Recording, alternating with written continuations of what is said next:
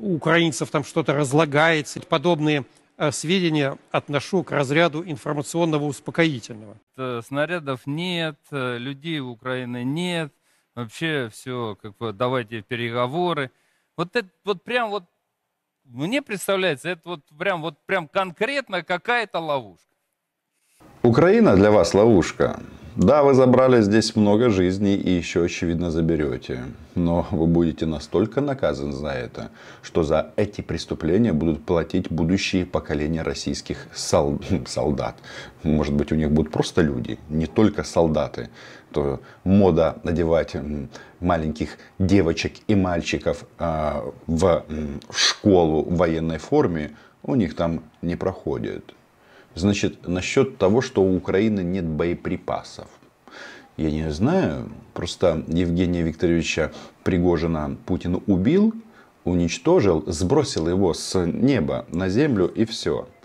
И теперь некому сказать, Шойгу, Герасимов, би-би-би, пи-пи-пи, а где боеприпасы. Но, опять же, российские паблики говорят о том, что в той же Андреевке многое произошло из того, что произошло, а потери я уже ага, зацитировал, из-за того, что у российской армии нет боеприпасов. Я вообще не могу понять. А где Блинкин? И почему такие вещи звучат у Оли Скобеевой? То есть, а, еще раз, значит, на эталонный российский на, нацист, он же и депутат Госдумы, между прочим, Алексей Журавлев, говорит о том, что Украина а, хочет нас завести в ловушку. Тут на помощь приходит Ольга Скобеева, но и, и у нее тоже лицо изрядно перекошенное. Ну, я не знаю. Во всяком случае, там, где они сейчас прут, прут очень жестко. Ну, прут. То ли Поэтому- ловушка, то ли не ловушка, но поставили ведь всего 14 челленджеров.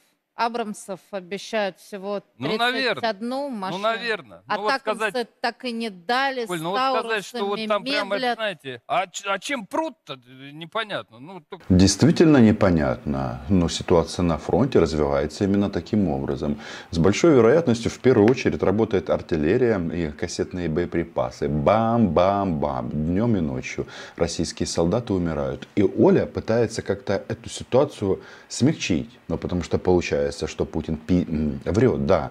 А, Как всегда, обманывает богоизбранный российский народ. Ну и про мобилизацию. Он же так и не сказал, что ее не будет. Я говорю о Владимире Путине. А Оля старается. Мол, танков мало дали, Абрамсов мало дали. Да, слушайте, дискуссия на тему, почему Запад экономит на вооружении для Украины, она ведется и у нас, и, соответственно, в Штатах. Ну, вот, Борис Джонсон поставил вопрос таким образом, что давай атакамсы. Насчет атакамсов. А получается, что последняя надежда Оли Скобеевой, нацистки Оли Скобеевой, что Украине чего-то не додадут. А я убежден, что дадут все и даже больше. Тут вопрос в том, чтобы все было вовремя. Потому что время на войне самый главный ресурс. Время и боеприпасы, которые несут что? Пишем в комментариях, а я подсказываю, хотя тут не удастся блеснуть а, умом и эрудицией. Несут смерть российским захватчикам. вот уничтожаем Силой, прут. тысячи, тысячи танков уже уничтожили. И еще и там сказать, что все, завтра они уже закончились у них. Так вообще отлично тогда. Мы пешком вообще до Киева дойдем. -то. Да, получается, что пешком дойти до датского зоопарка, где живет черепаха, стало намного легче, чем, а, соответственно, дойти до Киева. Жалкие капиталисты. Их только земелька волнует. Коррумпированный режим Байдена и примкнувшие к нему последователи нацистской идеологии продвигаются к новой мировой войне от Атлантического до Тихого океана. Идти на компромисс с ними значит расписаться в собственной погибели. Мы это очень хорошо понимаем. И Владимир Владимирович очень четко рассказал, какое перемирие? Вы о чем? Чтобы потом перегруппироваться, подтащить еще военной техники? Не, ребята, нас больше не обмануть. А я просто хочу, чтобы вы вот оценили. Анна Лёль, журналистка, немецкий канал TDF, в интервью с Анной Лип. Wie gesagt, schon vor der Militäroperation sind ungefähr 8000 Zivilisten umgebracht worden. Sie reden über diesen Krieg und dieses Leid, ja, aber warum es dieses, dieses Leid gibt, von wem die Untermenschen umgebracht werden und warum sie umgebracht werden, das macht es natürlich nicht besser, dass sie sterben. Aber ich meine, der Hintergrund ist, so ist meine Information, dass es eine russische Besetzung zum Beispiel der, der Verwaltungsgebäude unter anderem gab und eine russische, also von Gruppen, die russisch waren. Und dass das ja der Auslöser war quasi für diese, für diese Auseinandersetzung, warum es diese kriegerische Auseinandersetzung gab. Da haben Sie ganz klar eine falsche Information. Можно мне еще поставить фрагмент, чтобы люди услышали Унтерменш? Wie gesagt, schon vor der Militäroperation sind ungefähr 8000 Zivilisten umgebracht worden.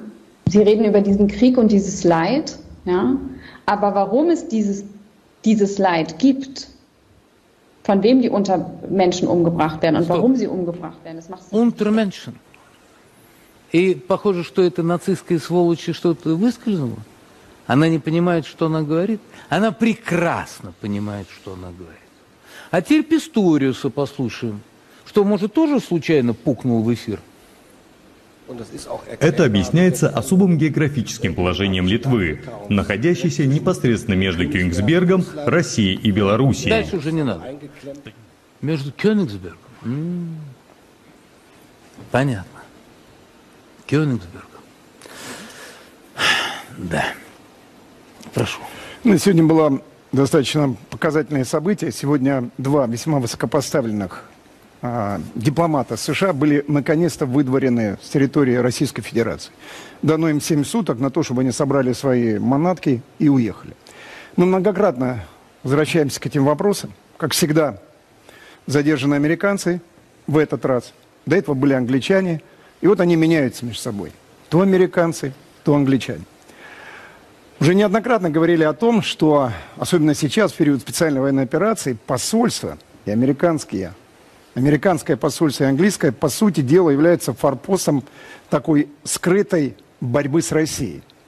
А то, что был задержан гражданин России, который прежде работал в консульстве США, говорит о том, что отношения дипломатические между нашей страной и этими двумя странами надо менять. Кстати, если мы посмотрим нашу историю послевоенную, то практически э, предатели, которые были арестованы и расстреляны э, при Советском Союзе, это были в основном шпионы Соединенных Штатов и англичан.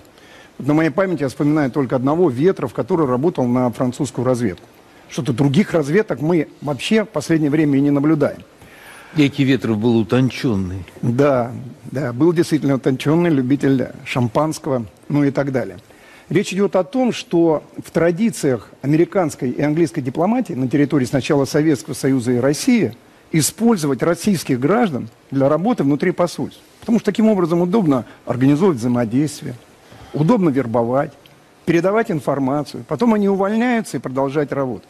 И одна и другая страна не выполняют соответствующие Венские соглашения, в соответствии с которыми они не имеют права людей брать на такого рода должность. Підпишіться на канал і не пропускайте нові відео. Пишіть коментарі і діліться з друзями. Ми також будемо вдячні за підтримку нашої роботи на Patreon або інших зручних платформах. Реквізити в описі до відео.